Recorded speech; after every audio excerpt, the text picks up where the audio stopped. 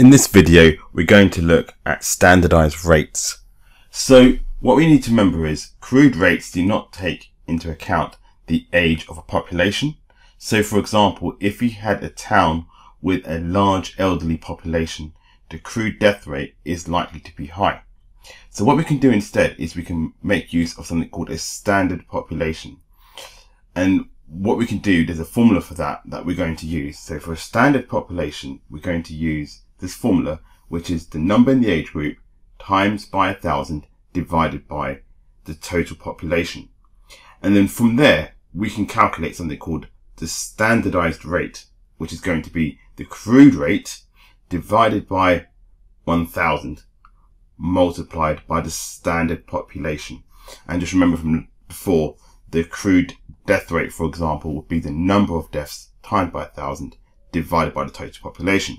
Now you do need to learn these formulas for your GCSE statistics exam. Okay, so let's go through this example. So we've got a table of values here, the number of different age groups, the number of individuals in that group, and the number of deaths per group. And what we want to do is want to work out the standard population for each of the groups. So what we're going to do is we're going to use the formula that the standard population is the number in the age group times by a thousand divided by the total population. So what we're going to do first of all is work out what the total population is going to be. So we're going to say the total population, we can get our calculator for this, add them all up. So it's going to be 3315 plus 16462 plus 21431 plus 6767. And that would give me a grand total of 47975. So that's 47975. Let's double check that's correct. Yes, it is correct. So that's going to be my total population. So now I can apply the formula. So it's going to be the number in the age group. So in our case, from 0 to 20, if your age is 0 to 20, we've got 3, 3, 1, 5, divided by the grand total, which is 47975. And we're going to times that by 1,000. And then type that in my calculator, and then I'm going to get 3315 divided by 47975. We're going to multiply that by a thousand. And that will give me 69.10, two decimal places. So I get 69.10 to two decimal places there. And then we're going to do the same for this one. So it's going to be 16462 divided by the grand total 47975 times by a thousand. I'm going to do the same thing for this one. 21431 over 47975 multiplied by a thousand and then 6767 divided by 47975 times by a thousand. And then we can use our calculator now to work out what these corresponding values are. So we can just change the top value to what we need. So in our case here, let's delete that. I'm going to change that to 16462 divided by the grand total times by a thousand. And that's going to give me 343.14 to two decimal places. This is 343.14 to two decimal places there. And then I'm going to change this one on the top. That's going to give me 21431 divided by the grand total times by a thousand. And that's going to give me 446.71. So 446.71 like so. And then we can do the last one. So just scroll this back, delete the top, change that to 6767 and then we can say that's 141.05 to two decimal places. So 141.05, scroll down a bit, 0.05. Okay, so that's what we call a standard population. Now, if had been asked to work out the crude death rate, sometimes they could ask for the crude birth rate. It will just be counting the number of births. But in this case, we're looking at the crude death rate. So we're going to do the following. The number of deaths, in our case, which is going to be 40, divided by the total population. So we've got the total population. So that's going to be 47975 and times this by 1000. And I can do the same for all the other ones.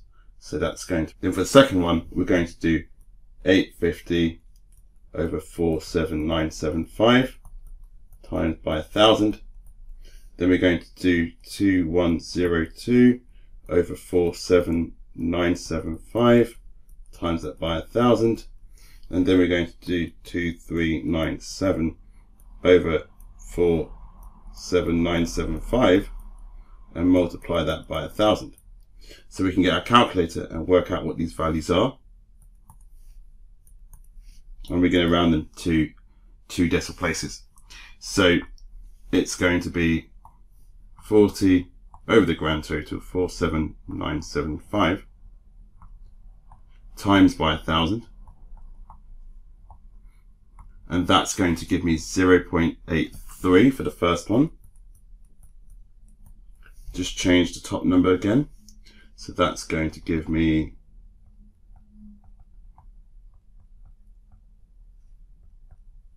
uh, 850,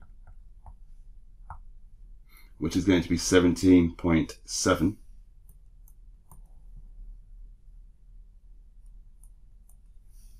And then change the top one again.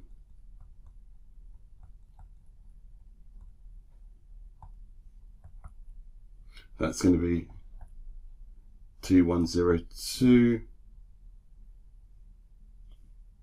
divided by the grand total, and that's going to be 43.81. And then change the top one number again.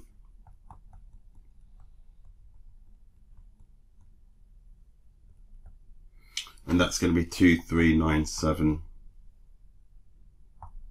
And that's going to be 49.96. 49.96 there.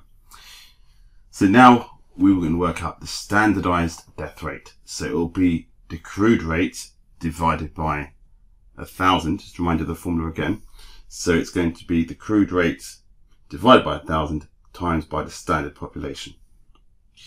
So we've got our crude rates. So we're going to do 0.83 divided by a thousand times by what we got for the standard population. So in our case, it would be 69.10.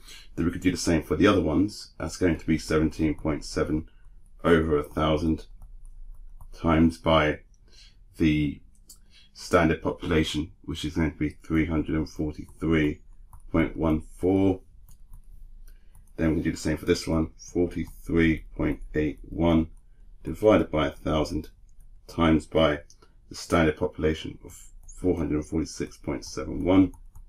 And then we can do 49.96 over 1,000 times by the standard population, which we've got is 141.05. So once we've got that, we can just use our calculator to work out these values. So I'm going to put it over here, my calculator. So it's going to be the first one, 0.83 over 1000 times by 69.10. And that's going to give me, I'm going to round this again two decimal places, it's going to give me 0.06. So 0.06 there. In case is going to be 17.7 divided by 1000 times 343.14 and that's going to give me 6.07 so that's going to give me 6.07 to two decimal places. Then the third one is going to be 43.81 over a thousand times 446.71 and that will give me 19.57 and then the last case is going to be 49.96 over a thousand times 141.05 and that will give me 7.05 and I am